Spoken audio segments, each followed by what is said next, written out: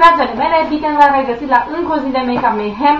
Astăzi vreau să fac un clip pe care l-am făcut până acum și pe care știu că mi l-a cerut de multe ori și eu niciodată nu m-am uh, îndurat să-l fac și o să vă explic imediat de ce și e vorba de un clip cu empties, adică gunoaiele mele din ultima vreme. Cam așa arată, am un port foarte plin. Am trecut mi-a cerut foarte mult să fac un astfel de clip și nu l-am făcut pentru că aveam de gând să strâng toate produsele din anul trecut, de, adică de când am început eu, de prin când am început să fac clipuri pe YouTube, de atunci am vrut să le strâng și la sfârșitul anului să fac un uh, clip general cu empties din anul respectiv. Treaba e că nu s-a mai întâmplat. În decembrie s-au întâmplat niște chestii cu mine și cu lucrurile mele și a trebuit să mă mut dintr-o parte într-alta și n-am mai apucat să, le, să fac clipul. M-am și îmbolnăvit la un moment dat și chiar nu mi-a mai ars de clip. Așa că o să fac clipul cu produsele pe care le-am terminate. Nu sunt genul de persoane care termină multe produse într-o lună și nu pot să fac genul ăsta de clipuri în fiecare lună, cum am văzut la multe din fetele de la noi, dar asta e cam ce am reușit eu să adun în ultima vreme. Pentru că de foarte multe ori uh, termin un produs și uit, vreau să fac, să-l pun deoparte ca să fac uh, clipul ăsta și uit de el și le arunc și, mă rog, ar putea să mai fi scăpat ceva, să fie aruncat. Anyway, ordinea e aleatorie, habar n-am când le-am terminat, în ce ordine le-am terminat, nu mă întrebați că nu ține vinență la așa ceva. O să le iau cu un pic mai repede în mână. Prima care a căzut din porfad este sticluța de la Bioderma. Asta am mai avut-o, am pus-o într-un clip cu favorite, o ador, am făcut o comparație între ea și apa micelară de la L'Oreal, nu mai știu cum îi zice. E absolut genială, vă o recomand. E destul de scumpă, dacă nu vă permiteți, este foarte bună și cea de la L'Oreal. Asta mi se pare puțin cel mai bunicică. Dar oricum apa micelară pentru mine deja a devenit o chestie must have. Următoarele două produse sunt o loțiune de corp de la Balea cu cocos și varianta ei cremă de corp săraca. Ambele sunt foarte bune, deși prefer un pic, să fiu sinceră, prefer crema. Am zis, eu am piele de pe corp extrem de uscată și prefer crema de corp decât loțiunea. Loțiunea mi se pare că lasă ten, ton, ten, ten, ton, ten, uh, lasă pielea puțin grasă după ce o aplici până se absorbe de tot Uh, da, prefer totuși crema. Asta a fost 10 lei și ceva, că am găsit-o la reducere la Diem, deci și mi-a ajuns din septembrie până acum câteva săptămâni. Demachiantul de la Sephora pentru ochi, pentru machiaj rezistent la apă. La asta am făcut un review pe blog. La tot ce am pe blogul nou review-uri o să vă pun în bara cu descriere oricum. Miroase a spirit. Pe mine m-a speriat când am folosit prima dată pentru că miroase a spirit. Asta e varianta de călătorie. Fiindcă nu știam dacă o să-mi placă și am zis că n-are rost să iau varianta mare. Dar e foarte bun și ăsta. Uh, nu-mi irită ochii, eu am ochii foarte sensibili, nu-mi irită, dar uh, ustură puțin dacă ți intră în ochi. Deci și mie mi se întâmplă să mai intre de machiaj în ochi. Asta este o cremă de corp, de fapt un de corp de la Thai Spa cu mango. Este absolut adorabil, miroase absolut incredibil și pe asta știu că l-am avut într-un clip cu favorite. Doamne, deci miroase atât de bine și când îl dai pe corp, miroase a miere. Mie mi se pare că miroase a miere și la un moment dat știu că vorbeam cu cineva pe net, vorbeam pe, eram la laptop și vorbeam cu cineva pe net și simțeam că miroase ceva bine și nu știam ce și pe urmă ce să mă miros și era de la ăsta. Ce mai am aici? Un șampon de la Gliss, uh, cel cu 7 uleiuri, l-am mai văzut, mai are un picuț în el, nu știu de ce l-am pus în empis, mai are cam de o spălare așa, eh, poate folosit și pe ăsta înainte să-l arunc. Da, asta v-am zis că îmi place foarte mult, că nu mi încarcă părul, nu-i dă super volum încât să nu mai pot să intru pe ușă din cauza părului. Se comportă, se înțelege foarte bine cu masca mea de la Măcalos, pe care o ador. Așa, da, cred că o să le cumpăr. Am terminat și un săpun, da, mă rog, eu nu prea folosesc săpunuri, dar îl mai folosesc când uh, nu am chef de un gel de duș sau ceva și vreau să mă spăl de repede, să fac un duș repede. Uh, folosesc un săpun din ăsta, e foarte ok că nu scăp pielea. Mm, da, e da.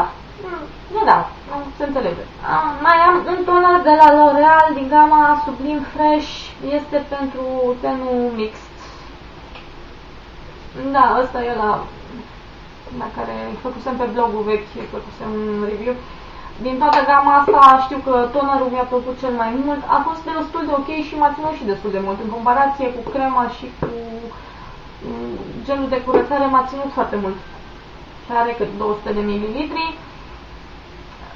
Ciudat, m-a ținut mult și e ciudat pentru că de obicei mie tonerele mi se termină primele. Da, mă rog. Am trei sticluțe de acetonă, uh, da, și sigur au mai fost cel puțin încă 3, 4, 5. Eu folosesc acetona de parcă un beu. Așa, este acetonă, asta e de la Farmec, asta e aceeași variantă cu asta la care i-am luat eticheta, doar că i-au schimbat ambalajul și e într-o cantitate mai mică asta. Știu, știu, știu foarte bine teoria cu nu folosi acetonă, ci un dizolvant care nu conține acetonă ca să nu-ți uh, distrugi unghiile sau cuticulele, nu, la mine nu funcționează decât acetona, la mine dacă în momentul când am pus lac pe unghii, se înțepenește și salutare. 4 pungi de dischete de machiante.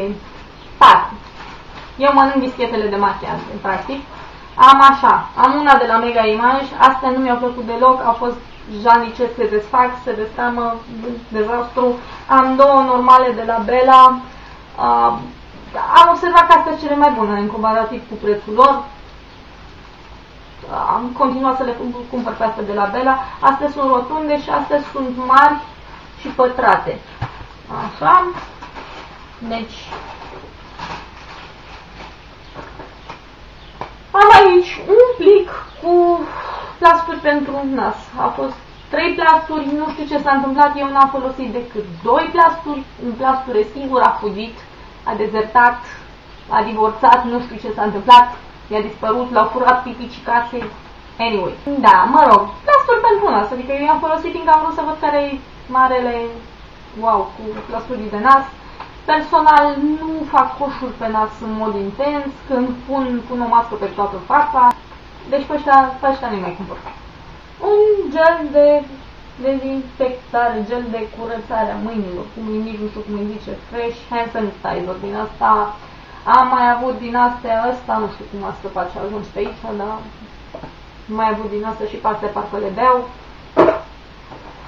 Așa, am terminat și gelul de curățare exfoliant de la Clear Skin, Avon, Sad Day, am un review pe blog pentru el, Very Sad Day când s-a terminat, îl ador, îl iubesc din tot sufletul. Sper să-mi amintesc când ajung la un stand de event să mi-l recumpăr, pentru că n-a fost nici scump, nu știu, am 10-12 lei pe el și e foarte, foarte bun, sincer. Așa, nu, am aici o mască de față de la Ladies Active, Acroactive Max cu pentru albire, pentru estomparea petelor de soare și de, mă rog, ce mai fi de acne. Asta iarăși mi-a plăcut foarte mult, dacă m-ați mai urmărit, în clipurile cu favoritele am pus că am avut și crema și sărul și sunt absolut geniale, uh, mai ales când le ai pe toate trei și faci un tratament intens, chiar se vede. S-a terminat, asta e.